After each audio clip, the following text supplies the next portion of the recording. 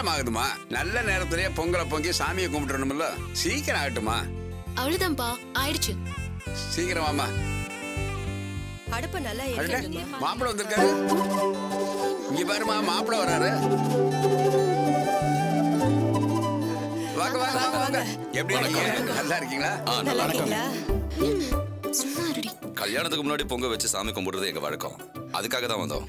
நாங்களும் அதுக்கு தானே வந்திருக்கோம். நல்லதா ரெண்டு. வீட்டாரும் ஒரே நேரத்துல சாமி கும்பிட வந்தது ரொம்ப நல்ல விஷயம். வாங்க வாங்க. வாங்க உன் ஆள் பாக்குது பார்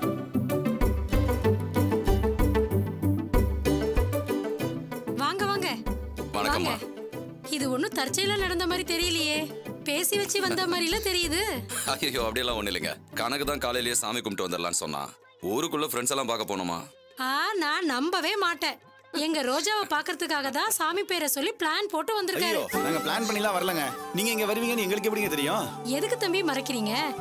எங்க ரோஜா தான் நாங்க இத்தனை மணிக்கு இங்க வருவோம்னு உங்களுக்கு ஃபோன் பண்ணி சொல்லிருப்பா என்ன ரோஜா நீ தானே ஃபோன் பண்ணி வர சொன்ன? எனக்கும் இதுக்கும் எந்த சம்மந்தமும் இல்ல. இவங்க இப்ப வருவாங்கன்னு எனக்கு எப்படி தெரியும்? ரெண்டு பேரும் நல்லா தான் மறைக்கிறீங்க. பரவாயில்ல. ஜாடிக்கேத்த மூடிதான். ஏமா போய் பொங்கல் வைக்க ஏற்பாடு பண்ணுமா? டைம் ஆகுது. சீக்கிரம். வாடா அப்படி போயிடலாம். அம்மா இத பாத்துக்கோயே கோயிலை சுத்திட்டு வரும். சரிம்மா. ஏய் சின்னடா. அவ சொன்ன டைலாக் யாருக்கு எனக்கு தங்கடா கூட்டு போற வாடாங்கற ஏதாவது ஒண்ணு கிரியேட் பண்ணி பேசுறேன் ரொம்ப தேங்க்ஸ் எதுக்கு? நீயும் இன்னைக்கு கோயிலுக்கு வந்தா நல்லா இருக்கும்னு நினைச்சேனா? அதே மாதிரி வந்துட்டியா? அதான் ரொம்ப தேங்க்ஸ் எதுக்குடி? அதான் வந்துட்டேன்ல. ஏய் அந்த பொண்ணு அதுகிட்ட பேசிட்டு போலடா. உன்னை பார்த்து தான் பேசிட்டு போகுது. பரவாயில்லடா சும்மா சொல்லக்கூடாது. உன்னை விட உன் ஆளு ரொம்ப தெளிவா இருக்குது. வா. கல்யாண பொண்ணே வர அவகிட்டே கேட்டுக்கங்க. ரோஜா நான் உங்ககிட்ட தான் ஆசையா பேசலான்னு வந்தேன். அதுக்குள்ள நீ கோயிலை சுத்தி பார்க்க வந்துட்ட? ஆமா உனக்கு நல்லா சமைக்க தெரியும்ல? ஓ தெரியுமே. ஆனா எதுக்கு சமைக்கணும்? மாப்பிள்ளை ஹோட்டல் வச்சிருக்காரு. தினமும் மூணு வேளையும் சாப்பாடு அங்கிருந்து வந்துடும். வந்துருங்க. ஆனா என்னதான் இருந்தாலும் பொண்டாட்டி சமைச்சு கொடுக்கற மாதிரி வருமா? அந்த ருசி தனி ருசி இல்ல. கேட்டுக்கோ ரோஜா. அங்க போய் நீ தான் சமைக்கணுமா? அதுக்கெல்லாம் ஒன்றும் அவசியமே இல்லைங்க. நம்ம கணக்கு சமையல்ல புலி. உங்க பொண்ணை உட்கார வச்சு அவனே சமைச்சு போட்டு நல்லபடியா பார்த்துப்பான் ஏன்டா அப்படி என் மானத்தை வாங்குற? ஏய் உன்னை பத்தி பெருமையா தான்டா பேசுறேன். சரி வாங்க சாமி கும்பிட போலாம். ம் வா. இன்னும் ஒரு வாரத்துல நீ சென்னைக்கு போயிடுவ. அங்க போனதும் எங்களெல்லாம் மறந்துடாத. அப்பப்போ எங்களை வந்து பார்த்துட்டு போ. ஒரு வாரத்துல யார் இப்ப சென்னைக்கு அனுப்புறாங்களா? சும்மா ரெண்டு மூணு நாள் புருஷன் கூட இருந்துட்டு அப்புறம் என் கூட கிராமத்துக்கு வந்துட வேண்டியதுதான். ஒரு மூணு மாசமோ ஆறு மாசமோ ரோஜா என் கூட தான் இருக்கணும். சமையல்ல இருந்து வீட்டை பாத்துக்கிற வரைக்கும் நான் தான் மூத்த ஆளுங்கிற முறையில எல்லாமே சொல்லி கொடுப்பேன். அதெல்லாம் அவ ஒழுங்கா கத்துக்கிட்டானா அதுக்கப்புறம் தனி குடுத்தனம் போலாமா வேண்டாமான்னு நான் தான் சொல்லணும். என்ன இப்படி சொல்லிட்டீங்க? அப்ப உடனே சென்னைக்கு அனுப்ப மாட்டீங்களா? அது எப்படி அனுப்ப முடியும்? கனகு வேலை வேலைன்னு ஓடிட்டு இருப்பான். அவனுக்கு ஒவ்வொரு விஷயத்தையும் இவ தான் பார்த்து பார்த்து செய்யணும். இவ அங்க போய் ஒன்னும் தெரியாம தடுமாறி நின்னா கனகு தான் கஷ்டப்படணும். தனியா இருந்து கஷ்டப்படுறான்னு தான் இவனுக்கு கல்யாணமே பண்ணி வைக்கிறோம். இவ எதுவுமே கத்துக்காம போனா கல்யாணம் பண்ணுனதுக்கு பலனே இல்லாம போயிடுமே. அதனால நானே கத்து கொடுத்து அதுக்கெல்லாம் ஒன்றும் அவசியம் இல்ல. எங்க அம்மா எனக்கு எல்லாமே கத்து கொடுத்துருக்காங்க. நான் எப்பவுமே என் புருஷனோட தான் இருப்பேன். வீட்டு வேலையை ஸ்கூல் வச்சு கத்துக்க நான் ஒன்றும் சின்ன பொண்ணு இல்ல. புதுசா யார்கிட்டயும் கத்துக்கணுங்கிற அவசியமும் இல்ல.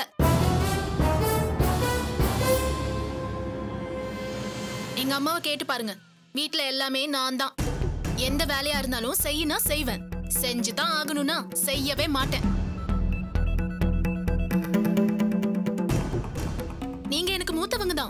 நீங்க அவருக்கு அண்ணினா நான் அவருக்கு பொண்டாட்டி. தனி கொடுத்தனும் போலாமா வேண்டாமான்னு நான் தான் முடிவெடுக்கணும். அதுவும் இல்லாம நீங்க அவர் அம்மா ஸ்தானத்துல இருந்து நல்லபடியா பாத்திருந்தா கூட பரவாயில்ல. கொஞ்ச நாளைக்கு உங்க வீட்லயே இளையவளா உரிமையோட இருந்திருப்பேன். நீங்க தான் அவரை பாத்துக்கவே இல்லையே.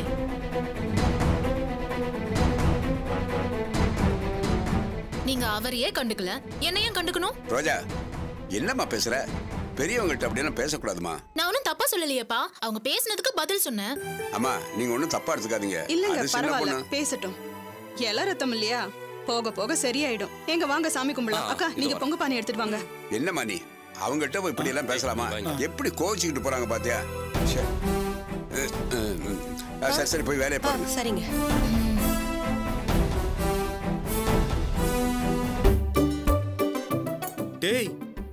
உனக்கு பொண்ணா தான்டா பாத்திருக்காங்க. நீ எதுக்கு எடுத்தாலும் அடுத்தவங்க மனசு நோக கூடாதுன்னு சுத்தி வளைச்சு மொக்கையா பேசுவ. ஆனா வாள் எப்படி ஷார்ப்பா திருப்பி அடிக்கிற மாதிரி பதில் பேசுது பாத்தியா? டேய் உன் அண்ணனும் அண்ணியும் ஆரம்பத்துல உனக்கு பண்ண அநியாயம் இருக்கே. எனக்கே வாய் விட்டு திட்டணும் போல இருக்கும். ஆனா அது தைரியமான பொண்ணுடா. முகத்துல அடிச்ச மாதிரி நச்சுன்னு பேசி பாரு. டவுட்டே வேணாம்டா. அது உனக்கேத்த ஜோடி தான் நீ நல்லா வருவடா. டேய் இரு. யார் இந்த நேரத்துல?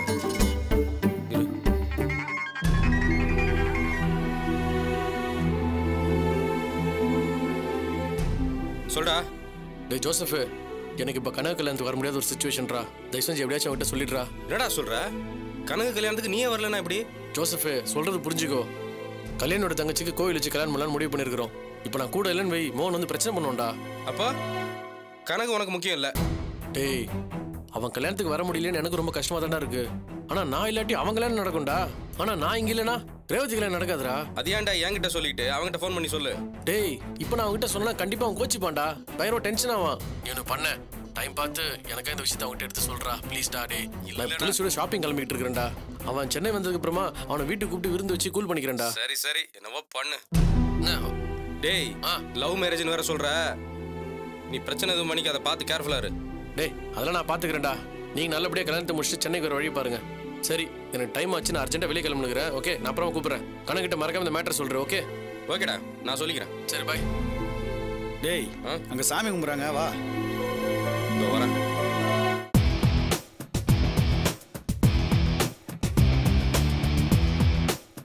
வாங்கின சாரீஸ்லாம் பத்துமா? போதுமா? எப்படி? இதெல்லாம் போதும் ஆனா எப்படியும் கல்யாணத்துக்கு அப்புறம் சுடிதார் தான் போட போறா. ஏன் இத்தனை சாரி வாங்கி வச்சிருக்கீங்க? ஐயோ சுடிதார் வாங்கணுமா? சரி வா போயிடலாம் இதுவே போதும். போதுமா? ஆ. சரி வாங்கின வரைக்கும் இந்த கலர்ஸ்லாம் நல்லா இருக்கா? எல்லாம் நல்லா தான் இருக்கு. ஓகே. சரி குட்டிமா எனக்கு ரொம்ப பசியா இருக்கு. ஏதாவது ரெஸ்டாரண்ட் போய் சாப்பிட்டு போலாமா? சரி வாங்க. வா.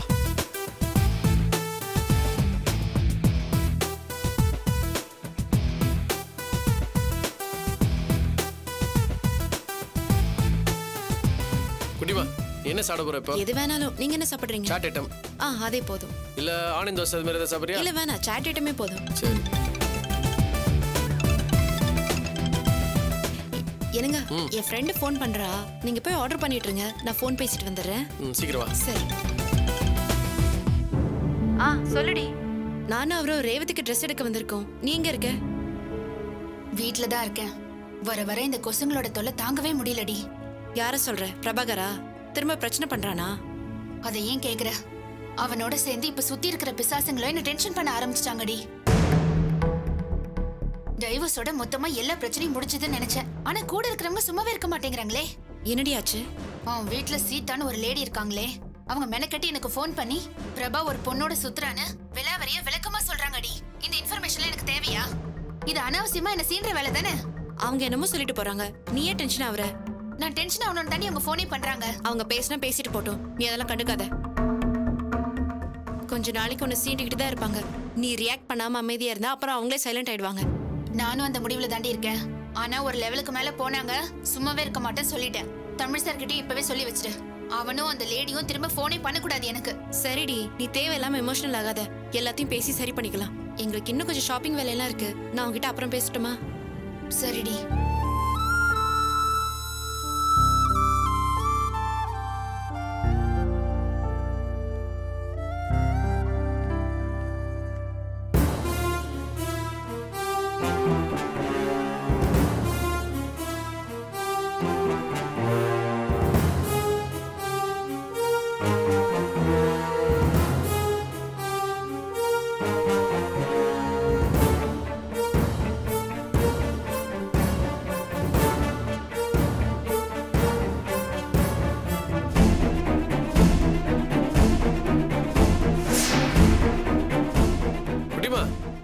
பண்ணிட்டு இருக்கிற நாங்க ஆர்டர் பண்ணி வெயிட் பண்ணிட்டு அங்க இருக்கேன் என்ன அநியாயம் நடக்குதுன்னு பாருங்க.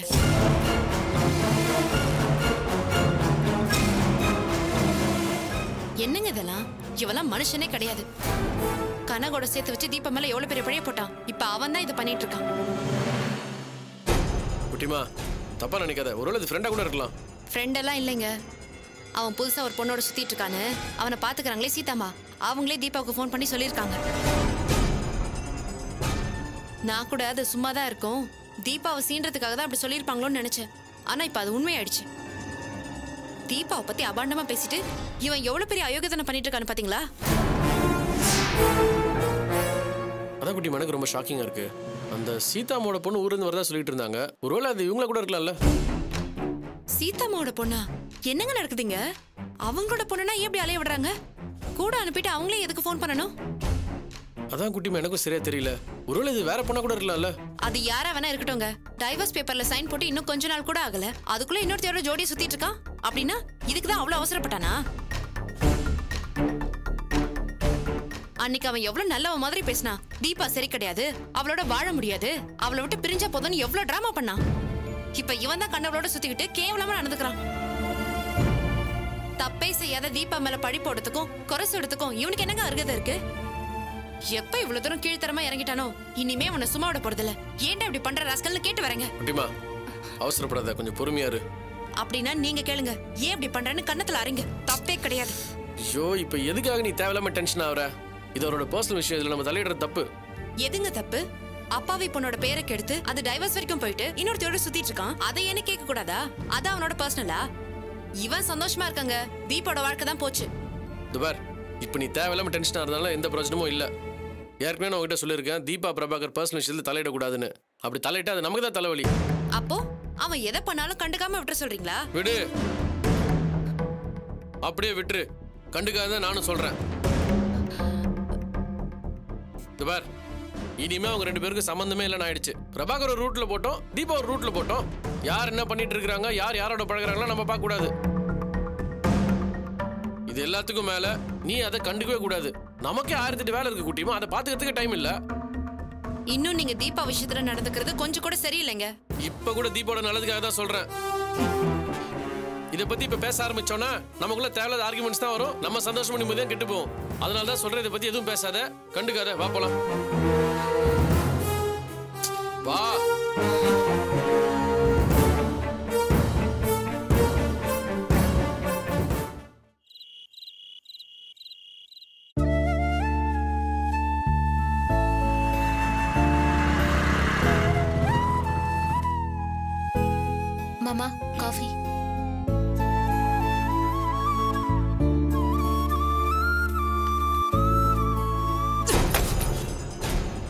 மோகன்.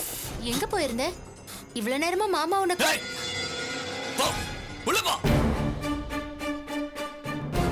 மோகன் என்னடா?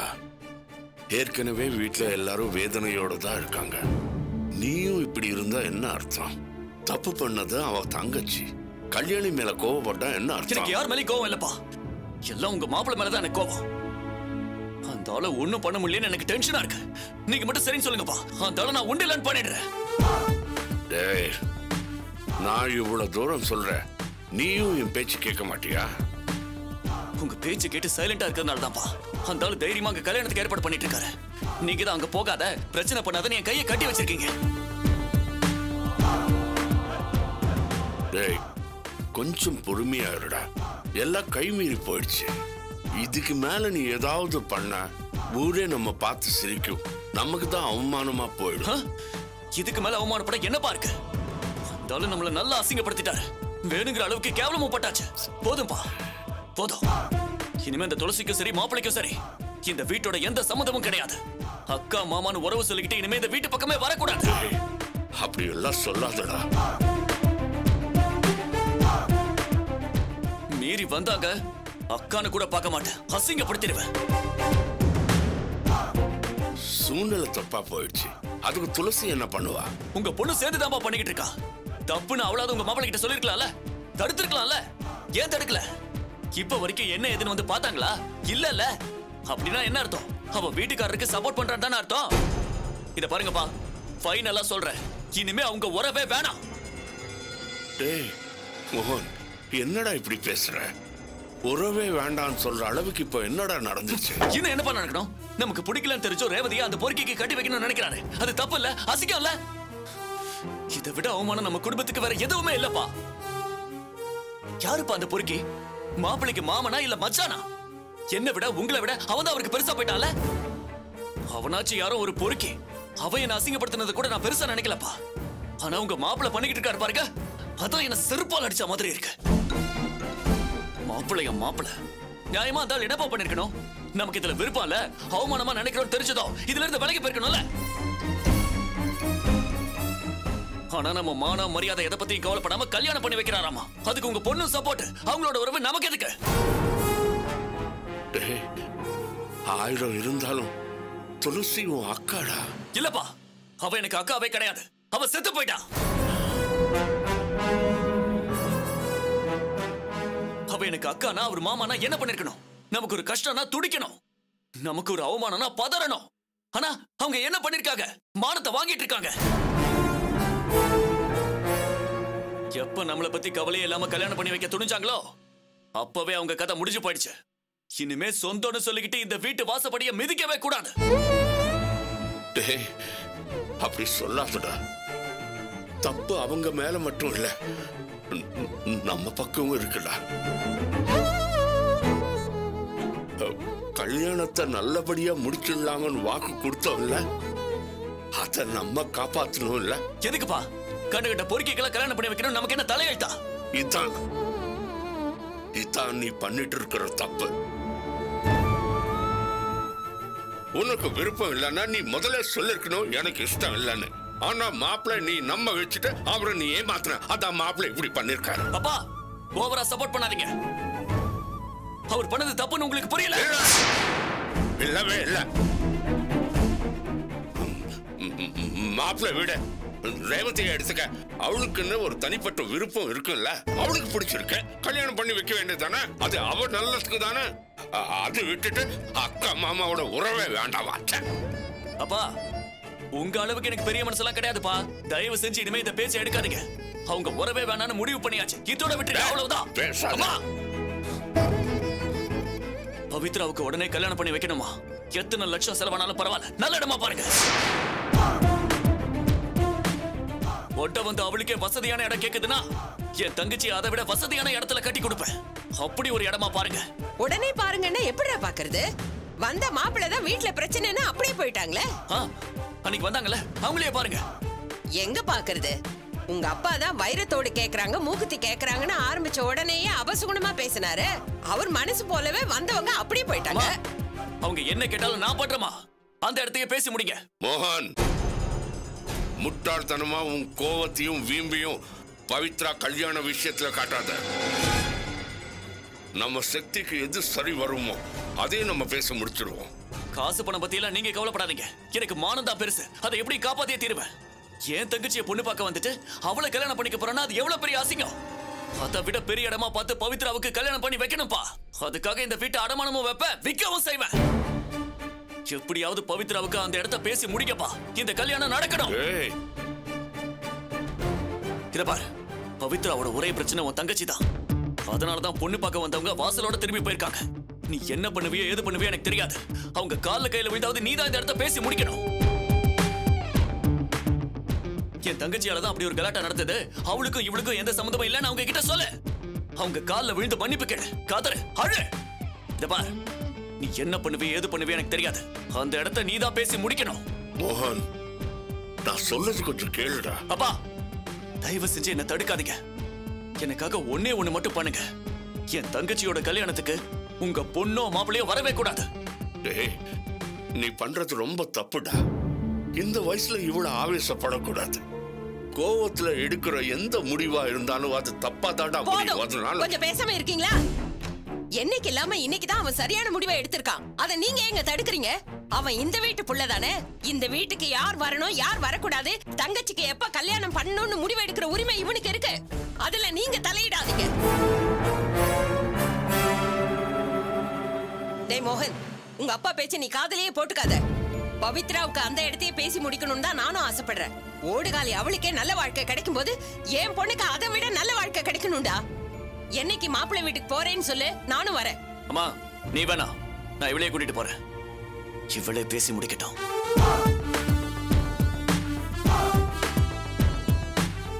நாளைக்கே மாப்பிள்ளை வீட்டுக்கு போறோம்.